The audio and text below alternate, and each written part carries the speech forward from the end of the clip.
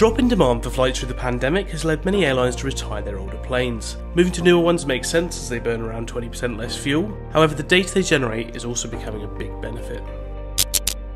Newer aircraft are rapidly increasing the amount of data they collect. For example, the A350, which launched in 2014, collects about double the data of 2007's A380 on each flight. This data can be used to diagnose faults, reporting components which need attention even before the plane lands, rather than the pilot reporting symptoms which need to be assessed and diagnosed on the ground before work can even begin. Combining and analysing data across a fleet can help to predict parts which need to be replaced proactively before anything goes wrong with them. Some airlines are going beyond this, anonymously sharing their data into the cloud so they can compare their fleet's performance on a metric like oil burn with all other aircraft in the sky. This can help them identify where they're performing well and where they may need to search for new vendors. This practice also greatly benefits the aircraft manufacturers, who get immediate access to data on the performance of their products, potentially allowing them to tweak designs in production or issue fixes for performance gains.